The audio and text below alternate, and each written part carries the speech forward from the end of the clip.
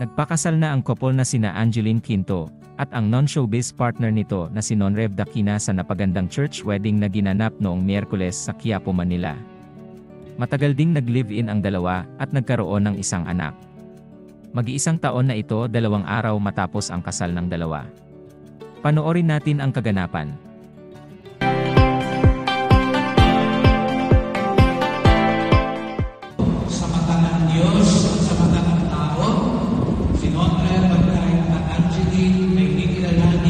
Mag-asawa, mag-isang dibdib, at bilang pagsalubong at pagkalangin, bigyan natin sila ng pasigabong palakpakan.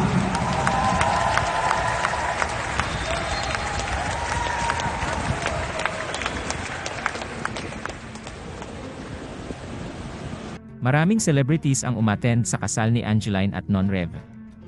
Makikita dito ang ilan katulad ni Sara Geronimo, Vice Ganda at Eric Santos na nagpaunlak ng kanta para sa ikinasal. Balita din di umano na buntis si Angeline sa pangalawang baby nito.